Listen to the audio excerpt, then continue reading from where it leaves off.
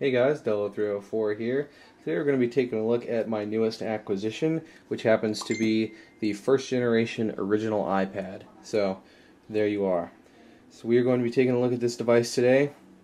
I bought this off eBay for only $42. So, we're going to take a quick look. But first, I'm going to give you a little update. As you can see, my setup has changed a little bit. There will be a, a update video on this, so don't worry about that. So yeah, I have a new video recording uh, setup. So hopefully should be a little bit better than my usual, uh, better in the lighting department anyway. So anyway, like I said, got this off eBay. This is a 16 gigabyte first generation iPad with 3G support, so that's cool.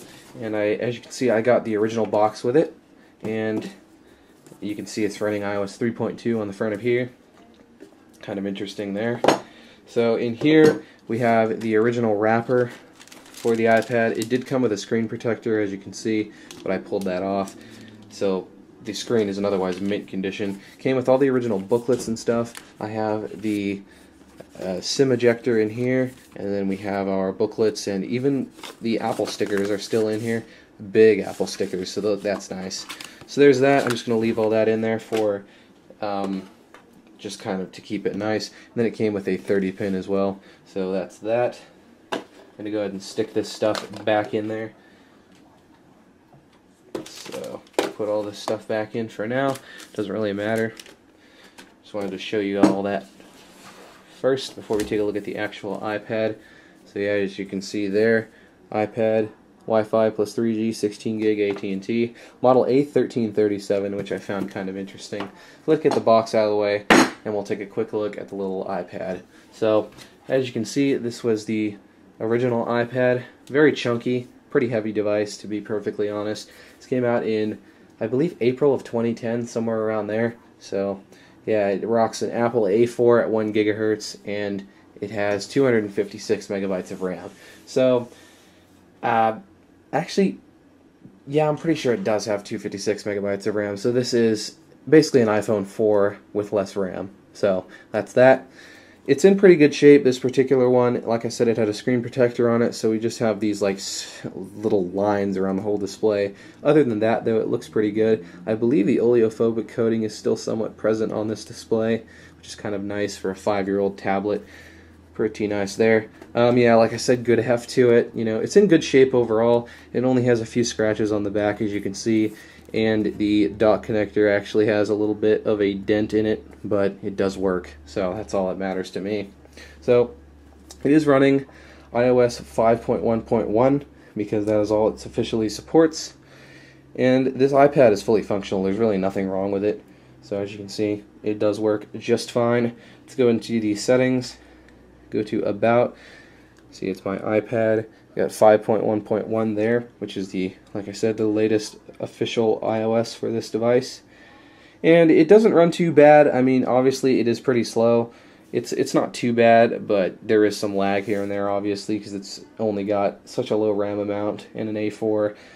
Obviously, before the Retina display, the iPad 3 was the first to have the Retina display. And as you can see, now that we're looking at it, I do have my SIM card in here, which is kind of nice. So I have AT&T 3G which I can actually demonstrate here. Let me disconnect from Wi-Fi. You can see it swaps over to 3G on AT&T. Let's go Google Chrome, which is supported. We'll talk about app support in a little bit.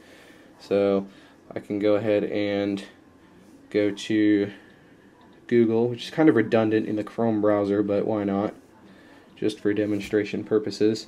Let's click go. And there you can see it is kind of slow, but it does load Google. And then we can type I don't know, iPad, search for it. And given enough time, bam, there you go. So you have 3G data connection. So that's pretty nice. Someone probably paid extra for that long, long ago. But that is nice. I did have a spare SIM from my LG tablet laying around, so I decided to stick it in here, and it works very well. So, in addition to my Nexus 7 2013, I now have two um, data connected tablets. there you go, setting it up just crashed. That happens sometimes as well.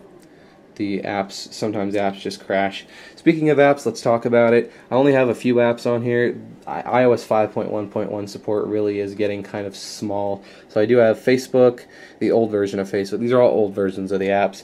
Google Earth, which hasn't been updated in a couple years, so it obviously does work.